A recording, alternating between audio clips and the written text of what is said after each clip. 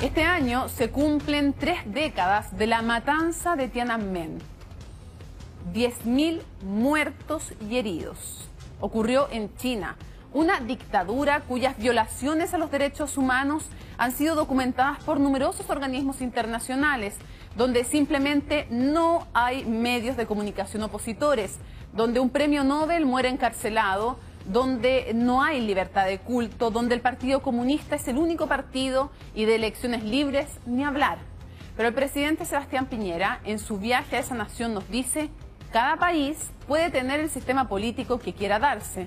No es así.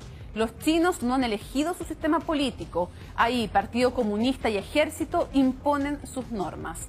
Ahí Xi Jinping reformó la constitución de manera de facilitar su permanencia en el poder, sacando los límites de la presidencia.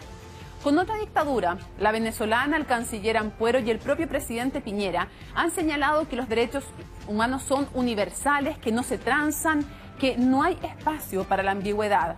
Ante China, todos sonríen, pero esa dictadura criticó la entrega de ayuda humanitaria a Venezuela, que junto a otros Sebastián Piñera fue a dejar hasta la frontera. China, que apoya política y económicamente la dictadura venezolana junto a Rusia y a Cuba.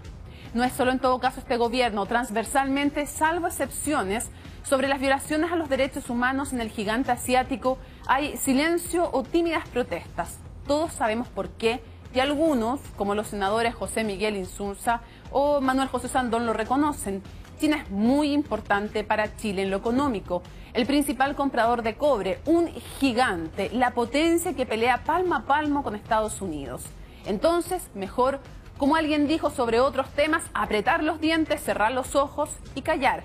Porque tan dictadura como Venezuela o Cuba es China, salvo que negocios son negocios. Eso opino yo. ¿Y tú? ¿Qué opinas?